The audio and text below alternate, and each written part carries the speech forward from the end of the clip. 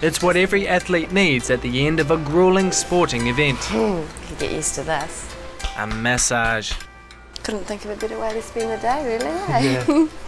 Attitude reckon Kiwi track star Kate Horan deserved a bit of pampering. She came away from the IWAS Games in Taipei with a bronze medal and a world record. Where do you ache most after a big race, Kate? my legs ache, um, mainly my good leg.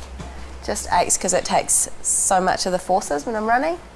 The Taiwan event was a successful test run for all the Kiwi athletes. 580 athletes have converged on Taipei for the IWAS Games. That's the International Wheelchair and Amputee Games. New Zealand sent four athletes here a powerlifter, two swimmers, and one track athlete. Our two swimmers, Cameron Leslie and Sophie Pascoe, are teenagers with potential. They both attended the World Champs last year, recording times that captured the attention of Paralympics New Zealand, or PNZ. But they've got to prove themselves here. Sophie's a newbie on the international scene. This is only her second major international competition, but she's heading into this event ranked third in the world.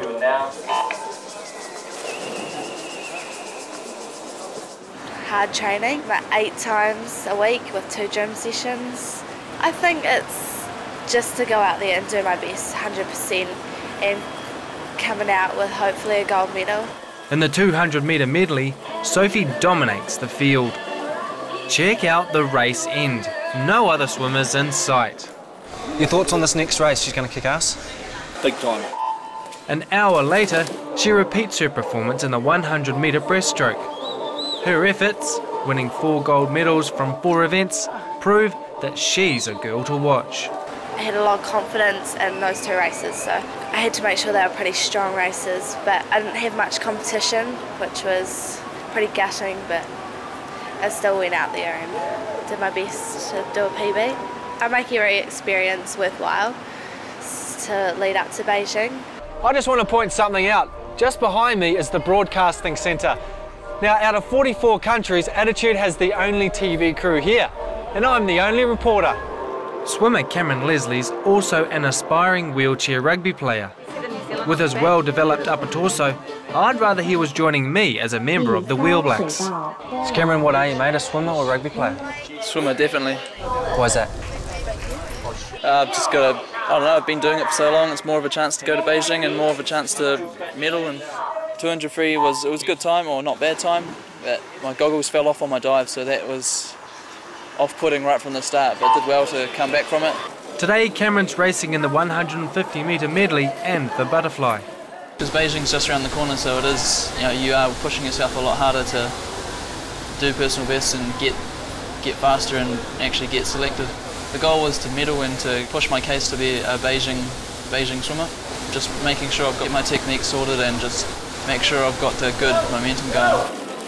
He achieved his goal of recording personal best times and gave his competition something to think about.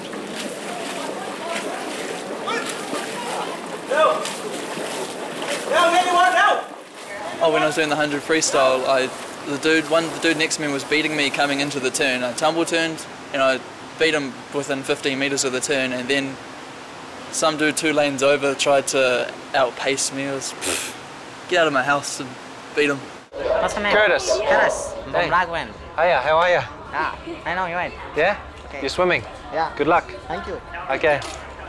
Not all Paralympic countries are funded as well as us, as you can see by this guy's wheelchair. Oh, but look at our new friend Raj swim. India's only been competing in Paralympic sport for six years.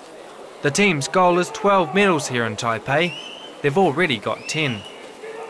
Raj Vendra hopes to swim the English Channel one day.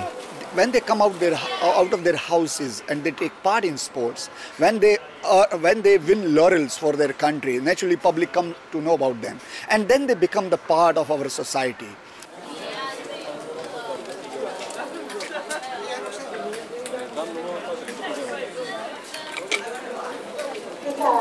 Across town, an hour to the south of Taipei City, is the track and field venue.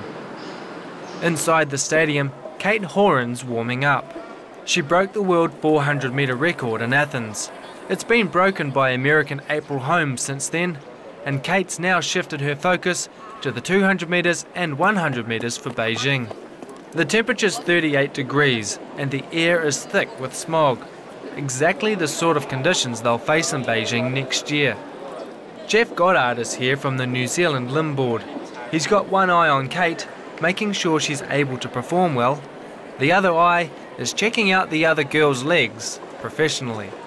So you're a bit of a secret service agent trying to get information out of the other athletes. Yeah, well, something like that. They sent me over here from New Zealand to do a bit of a reconnaissance, to have a look at the um, the limbs, what other athletes are wearing from around the world, and um, it's been quite good because a lot of the athletes are quite open and prepared to have a chat and talk about their prosthesis and they don't give away too much, but they do give away some helpful hints, which they're sharing, sharing information with, with each other, which is really, really great.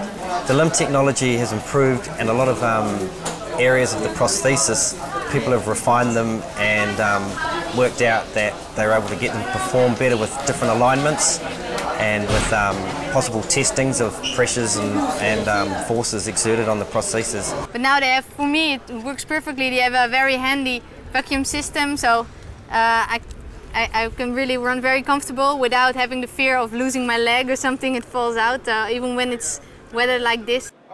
Kate's coach is Alan Colston.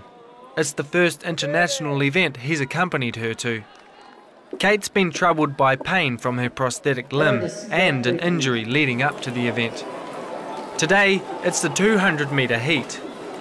The IWAS Games covered five days, a long time to maintain such an intense level of focus. There was pressure to perform. I have been nervous for the last five days. Five days of competition is the um, longest I've ever had to compete, sort of day after day. Um, and the adrenaline, every morning you wake up with butterflies in your stomach.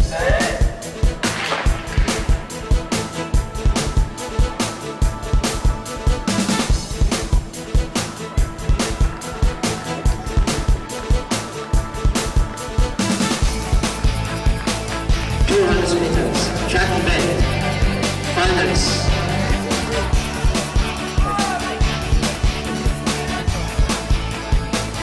It's been a year since I've raced, so I was like, oh god, didn't know how it was going to go, but um, felt really good.